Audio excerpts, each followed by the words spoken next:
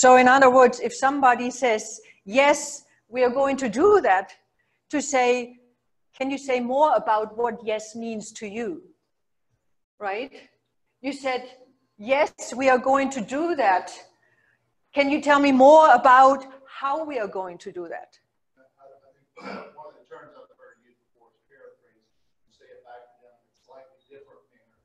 make sure that you're getting the same message. Right.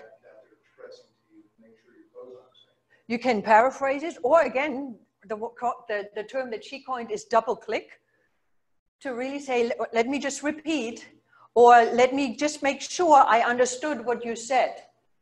To really make sure that you are both walking away with the same clarity and with the same conclusion. And that is actually Judith. She passed away last November. Uh, she worked on this again for almost 40 years. And she created this term conversational intelligence. She wrote the book Conversational Intelligence in 2014. And then in 2016, she started to, to train other coaches to become certified to go out and teach this. And I was actually in her first cohort in 2016 and got certified and got trained by her. So what is conversational intelligence? It is a methodology to understand how conversation impact our relationships with others. Because again, conversations are the connection of relationships. They are the connection between our spouses. They are the connection with our friends. They are the connections with our clients. They are the connections with, with, you know, with each other here in the room. So we have to understand how important conversations are. The next thing is it's a methodology to activate parts of the brain that trigger trust and innovation. What we have learned now in neuroscience is that trust sits in the different part of the brain than distrust. And one of the main ingredients of good conversations is trust. So we have to know what to do in order to activate the trust so that people act actually lean in the conversation, feel comfortable, and also then have the emotional courage to speak up. Because when people don't have trust, they will not share their emotions. They will not have that courage to speak up their emotions. And that is typically where conversations start to derail. It's a methodology to connect, navigate, and grow with each other and catalyze profound shifts in communication. Because again, everything happens through conversations. With all of that, it increases the impact and the effectiveness in a company as well as in relationships. So here's how I see it. We all have been taught how to communicate, right? Who taught us that? Your, your parents, right? But who taught you? Where did you learn to communicate effectively? In school?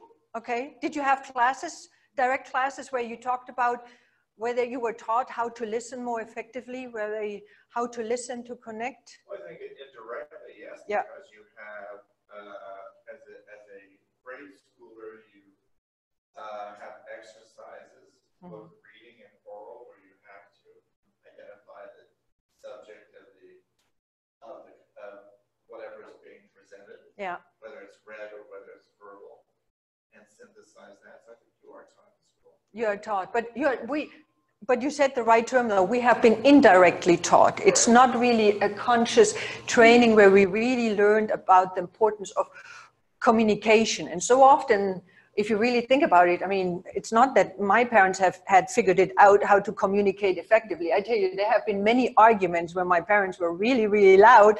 And not only that, I learned from my dad you know, if, if I want to get my point across, I have to get loud, I have to get emotional, and I have to intimidate other people so that I shut them up. Nothing wrong with that, right? It's that's what my dad knew, but that is the habit that I developed until I consciously realized, okay, this really does not work as effectively as I think it should right? So then the next thing is, of course, you know, higher better is then to really upgrade our conversational skills and maybe read a book about conversational intelligence or go to a class on communication skills. Or I mean, there are so many other different methodologies around communication, and they're all pretty, pretty similar. But then really what I say is the best thing is to have conversational intelligence combined with personal development. And why is that so? And when I talk about personal development is what you talked about, Jeff, is the conversations with yourself. I, I think it comes down to ours, but I mean, the reality is you never stop learning. It's always evolving as far as our ability to effectively communicate with others, to really understand where they're coming from, because we have to keep in mind, you're having a conversation with that person, that client, or whatever, you really have to understand what their background is, where they're coming from, order to effectively approach that conversation you're gonna have. Right, Because how many times has somebody come to speak with you and they're talking way over your head?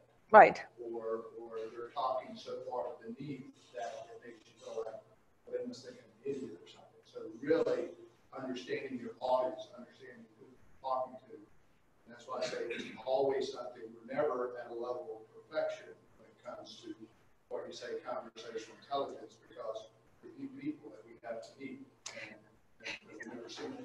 it, it's a practice. It's, there there will never be perfection. It's always a practice. Yes, Eric.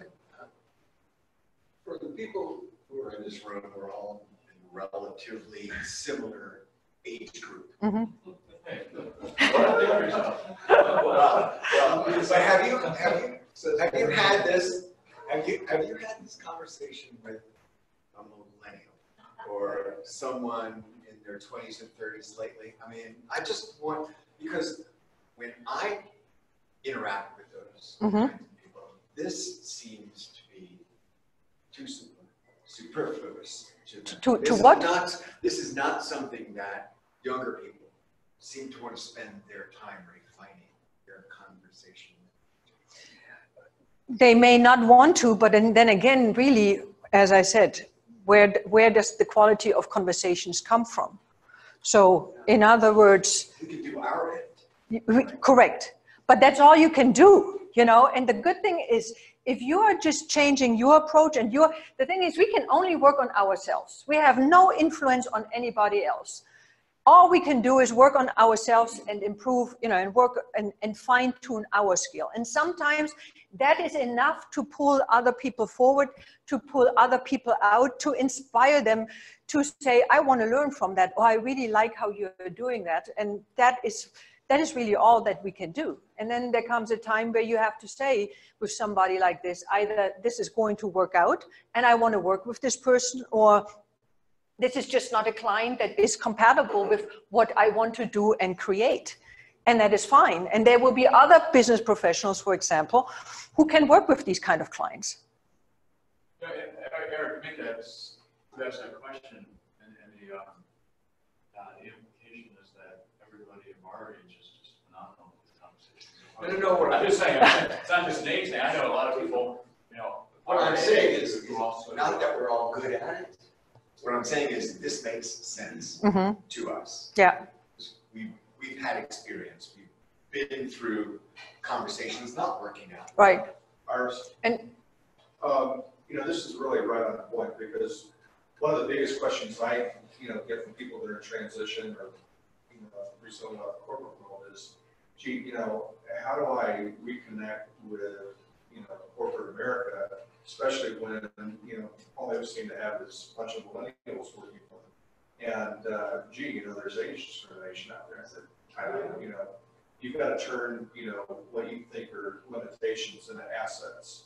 And we've got a ton of them. And one of the biggest assets that we have is that whole interpersonal skill set that we've developed over forty, you know, whatever many years. Mhm.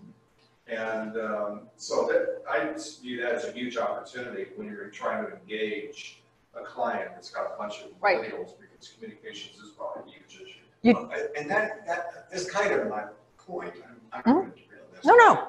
But I, I'm just interested in, in, if you've had a conversation about this in a group this size with people who are in their twenties and thirties, Mhm. and what the reaction is. Mhm. I'm just interested, because I feel that I can bring people to my world Yeah. to some degree. But they really want me to come to their world. is, is more And- A lot of their work is online as well. If you, if you, That's if you right. started the In conversation, email is also a part of the conversation. It is a part of conversation. Instagram, Twitter. Right. Facebook, What have you. Yeah. And, and it's really about you getting into their world and you wanting to learn more about them and you wanting to find out what gets them excited. Because in the end, even though they may not be as skilled or differently skilled when it comes to communication and their openness, they still have that need to belong, to engage and connect with somebody because that is our human instinct. Yes, Artie? Yeah, you, I'm just gonna build on what you were gonna say, actually, I was gonna practically say what you were gonna say. Okay. We might have built-in prejudices ourselves, like mm-hmm. the millennials, come on, we know, and, you know, we need to listen to them, because guess what? They know too. Right. And again, that is where the personal development comes in because the personal development, our beliefs, you know, our beliefs that we have around about the world, our beliefs that we have about what it means to be a leader, our belief what what we have about our staff and our team, all of that impacts how we communicate and and it is kind of like the what I always call personal development is like the operation system on a computer you know and then your business skills your business expertise is like a running software on top of it. But if the operating system is out of date if they if, if it is still running on on what is it windows 2003 right? Any any other software that you put on top of it is always going to crash that that computer so gotta come gotta upgrade well Mike, you would have known was there windows 2000? I was just thinking about my uh, eighteen-year-old granddaughter, how I tell her that rap and hip hop is not music. okay But somehow I haven't managed to successfully. Oh, okay know, I- I'm sitting here thinking, you know, I've stood up thinking for years. So I came from a country and area where people spoke like me. Yeah And I understood the colloquialisms and so forth. I came here and realized that English here is a different language. And one has to gain an understanding to communicate. Yeah. One has to be careful what you say.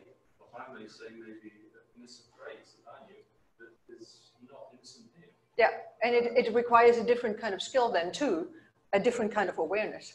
Yes, it does. Mhm. That's changed over the years. And there was like Austin Myers, Okay. has introduced America certain phrases in. Yeah. Uh, It it is understanding, you know, are we communicating? We're speaking, we're listening, but are we communicating? Is what I'm saying being listened to and understood? Right. It's just listened to. And So I I get your point. Yeah. And again, I will also talk about how we have to, how our heart is included in that whole process as well, because it's not, up on what my colleague over there said, this is very applicable to us and our generations, but to the young people coming along, this is the young communication. Uh, the, the art of It's a different model. conversation is, is discipline, is one that it's going to be like in twenty years when these people are in politics, running the country and running businesses. Who'd thought? I, I Listen. actually don't agree with that. And, You don't? and I will, um, and I'll just, I, it comes from some experiences that I've had with millennial clients, but I've had three millennial clients, these are all people, you know, late twenties to, some of them are approaching forty years old. Right. And they were, they were the most, they were the ones that wanted to have the most phone calls with me. Mm-hmm. That, I mean, from a verbal, like, it was not texting, it was not, My experience is it was really, completely the really and it might be the role that, the role that I'm in, but, but I just, I noticed that, that there's, this generation, they were, they wanted a lot of communication, they wanted a lot of discussion. and- company I just came from, after four years, I never had one single phone call from the IT, which remained, uh, it's all email and text. Not Okay. phone calls.